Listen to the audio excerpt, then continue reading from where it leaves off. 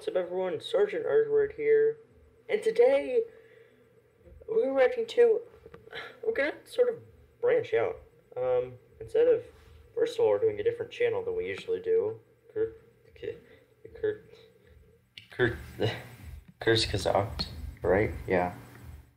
Which, AKA, is just a saying for in a nutshell, except in German. Fun fact. They're the largest German YouTube channel, I think. So yeah, that's cool. Yeah, anyways, I'm pretty sure I fixed the audio problems. So yeah, back to uploading as normal. Like literally, I. It's annoying. Audio is annoying. It really is. Let's go back. Alright. Without further ado, let's get started. But yeah, instead of we're branching out because instead of doing not only doing a different channel, but we're doing a different subject. We're talking about dinosaurs. Yeah, that's cool. And usually we talk about humans and human history. In this video, it just came out 12 hours ago. It's number 7 on trending, and it has 1.6 million views. And I saw my recommendations, and I was like, oh yeah, that looks cool. One of the greatest illusions in life is continuity. 66 million years ago, the continuity of the dinosaurs had been going on for around What kind of dinosaur is that? Around 165 Has a beak and teeth. What the heck? million years already, and it didn't seem this would change anytime soon. The world was warm and pleasant, and most of the land was covered with lush forests and an Pleasant? I'm not sure it was that pleasant. Like, have you seen some of the creatures during the dinosaur times? incredible diversity of trees, flowers, ferns, and trillions of critters. Dinosaurs were ubiquitous and had diversified Okay, I don't think these feathered creatures had teeth. I don't think any beaked creatures had teeth.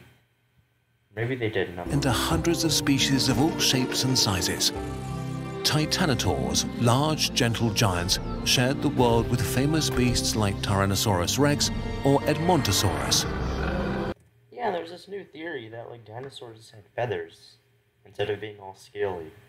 So that's probably why it chose them with feathers and all that instead of how they're usually portrayed. Pectinodon hunted in the undergrowth, while Edmontosaurus wandered coast. And it makes sense. They do sort of look like birds. coastlines and swamps. An ancient paradise, a world of plenty, full of life. 66 million years ago, maybe on a Tuesday afternoon, life was the same as it had been the day before, or a thousand years before, or pretty much a million years before. Things were good for our feathered dinosaur buddies until a tiny, tiny detail in the sky changed.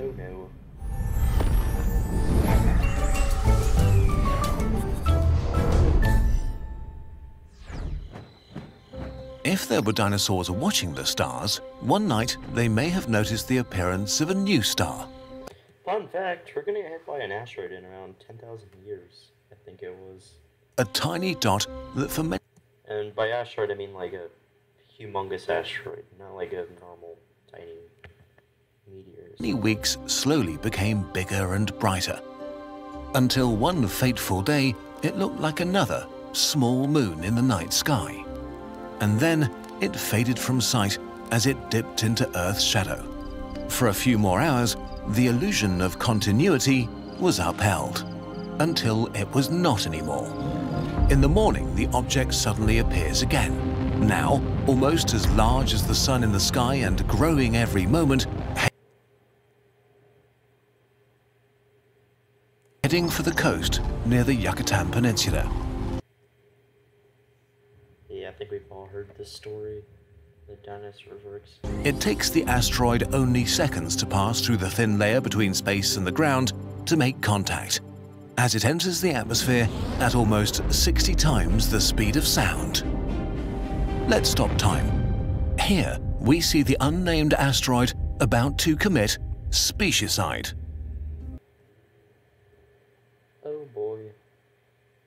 Larger than Mount Everest, it reaches from the ocean high into the atmosphere. What? larger than Mount Everest. That's humongous. What the heck? atmosphere, higher than passenger planes would fly millions of years later. At this moment, the world was one way. In a fraction of a second, it would be fundamentally different. Let's make the transition. As the asteroid hits the shallow ocean and the bedrock below, the energy of billions of nuclear weapons is released all at once as the Did you just say billions? asteroid vaporizes. A flash of light illuminates the sky as an eerie bright white sphere grows over the Gulf of Mexico. Bedrock melts into seething hot plasma at tens of thousands of degrees Celsius. The thermal That is so crazy. How like something that looks so small compared to Earth can turn into that. radiation from the explosion Like that'd be like someone throws a pebble at you and you just and your skin just explodes. travels at the speed of light and immediately burns everything within a radius of about 1,500 kilometers, while the energy from the impact pushes so hard against Earth's crust that it loses all strength and flows away from the impact site like a liquid, creating a hole Whoa. 25 kilometers deep and 100 kilometers wide. The ocean is Is that like? It's probably not still there, but like I wonder.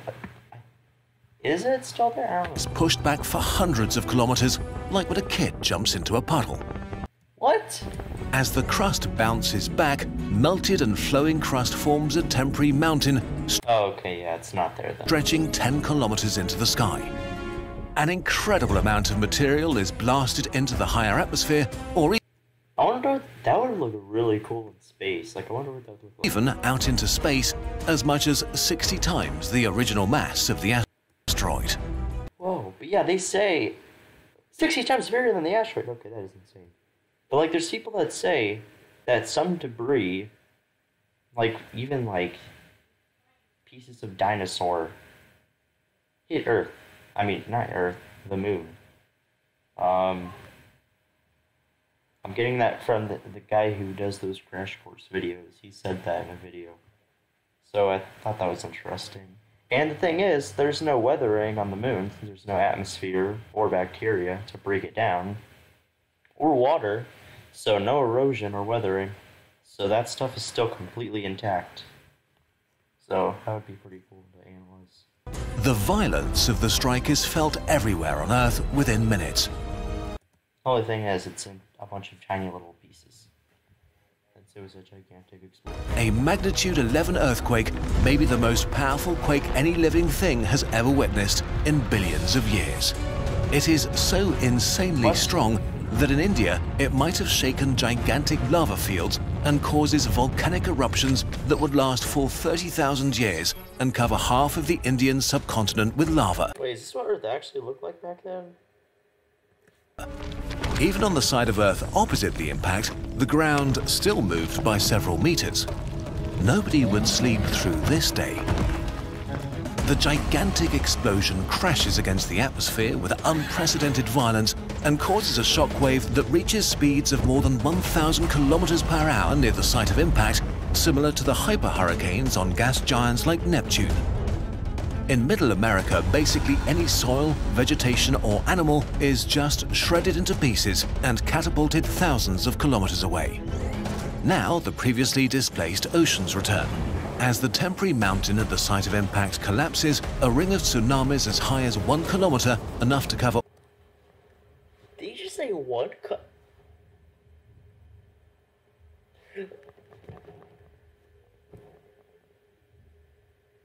Excuse me, did he just say one kilometer? For all skyscrapers humans would ever build, heads in all directions. As they crash into the coasts of the continents surrounding As you know, the the biggest danger, like the biggest danger that would come out of all this, was the fact that all the ash would go into the would go and cover the atmosphere, meaning that it would do this humongous greenhouse effect, making Earth extremely hot. Um, and making basically nothing be able to grow for a while. It was It was awful. And ba- basically nothing survived. That. the impact, they will drown thousands of kilometers of coastline. 15 hours later, some of the waves that get refracted around South America will still tower as much as 100 meters into the sky. But we still haven't talked about the worst thing yet. A lot of the debris yeeted into space will orbit Earth Wait, what did you just say? worst thing yet. A lot of the debris yeeted into Did you say yeeted? space will orbit Earth for thousands of years. Some Thousands. may hit the Moon or even Mars. But most Mars. That's crazy. of it comes right back. When things fall through the atmosphere at such speeds, they get very hot, as in hundreds of degrees hot. And this happens to millions of tons of material everywhere. This rapidly heats up the atmosphere to insane temperatures. We don't know exactly how hot it got or how long this heat shock lasted, but there are two ideas here. Either the air was heated to hundreds of degrees for a few minutes, or to thousands of degrees for around one minute. In any case, the air became as hot as the inside of an industrial oven. How bad the global effects of this were is contested, but if enough heat reached the surface, a lot of plants and animals would have died very quickly if they couldn't bury themselves or escape into caves. The heat, together with raining debris, also may have ignited material on forest floors and sparked wildfires as the oh Earth God. rotated under the searing hot blue. In a few hours, massive wildfires were probably burning around the globe. Some of them may have lasted for months and turned Earth into a horrifying, hot, hellish version of itself. As the day of the impact draws to an end, many of the dinosaurs are already dead, but the worst is still to come. The gigantic plume of vaporized material reaches the upper atmosphere and spreads around the whole globe. Together with the soot from the burning planet and the aerosols generated at impact, the planet sinks into a deep darkness, with only the remaining raging fires illuminating the scenery. Jesus Christ! Like this is what I imagine hell to look like. I just. I ju- Whatever plants survive the firestorms will now be starved for sunlight as global photosynthesis is temporarily shut down. Within days, temperatures crash as much as 25 degrees Celsius. The oceans were especially hard hit. The lack of sunlight killed over 90% of plankton, which form the basis of the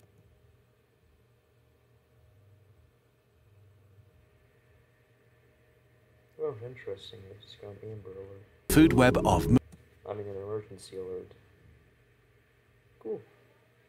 Marine life. Ultimately, this would kill off the large marine reptiles and ammonites that used to dominate the seas. The biosphere the survivors now find themselves in is like an alien landscape. Ash, debris, and the burned remains of the formerly lush and blooming life cover the ground. The sky is dark and it's cold, and fresh food. How do you even breathe with all that stuff in the air? food is scarce, while fungi thrive. Hmm. I guess you can eat some fungi, right? For months and years, the planet will be a hostile and deadly place. The sudden global winter will last for decades. Oh yeah, there's going to be a lot of dead animals to eat too. So, uh, there's some, there's some bright side. At least 75% of all species on Earth will just vanish from existence. Well, And so, as the day ends, the world is suddenly different. The continuity that went on for millions of years is no more. The era of the dinosaurs is over. Just like that. Eventually, from the ashes of the old world, survivors emerged. Birds that are the direct descendants of the dinosaurs and mammals that would eventually become the dominant animals on the planet. Yeah, back then mammals were just these tiny little rats. Before they used to be big. They used to be the dominant species, just like they are now. And then an extinction event happened with the mammals. And then the dinosaurs took over. And then the mammals, I mean, the dinosaurs got extinct. Now the mammals are at the top again. Without And now the reptiles are the ones that are tiny little lizards. the asteroid, who knows what life on Earth would look like today? without the sudden disruption of dinosaur continuity that completely changed the planet and all life on it, we might have never had the opportunity to become what we are today. It's not clear how long the human era will last. So far, modern humans have been around for 0.1% of the time the dinosaurs were. And in this short amount of time, we've achieved impressive feats, from making the world our own to reaching space and splitting the atom.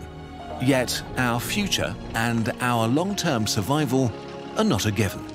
If we're not careful, it could end in an instant, like the age of the dinosaurs ended. But in contrast to them, we know that our continuity is fragile, even if it doesn't feel like it. We can be prepared and be vigilant and hopeful. What is this bird doing in museum? If we're lucky, our journey will go on for a long, long time. Sure so. Speaking of journeys, we want to address something in the spirit of transparency. Kurzgesagt has changed in the last two years. We've become more than a YouTube channel or animation studio and now also run a paper shop that sells Oh, okay, cool. Um, hundreds of thousands of calendars, posters, and notebooks. Paper products are our roots, and we actually started out creating posters, books, and okay, anyways. Thank you all for watching, everyone. That was pretty cool. And... I'm not gonna lie. I'm actually more interested in the time, like... Right before the dinosaurs. And the time right after the dinosaurs and the actual dinosaurs. So, yeah. I don't know. Anyways, thank you all for watching. And if you guys like this kind of stuff, or every once in a while I do videos about non-human history, then just let me know. By the way, how come every time in hum- in history class, like they always talk about human history? Like, just call it human history class then. Ju- There's, as far as I know, at least in my school, there's, or, yeah, there's no like class that talks about the dinosaurs and all the way back then. Like, isn't that history? Isn't that stuff important to history too? Like, and even in human history, they only talk about like, right? They only talk about the beginning of civilization. They don't talk about before that. And if they do, it's like for two weeks. Anyways, um, that's my little rant out of the way. Thank you all for watching, everyone, and leave your suggestions for new videos down the, down below. And goodbye.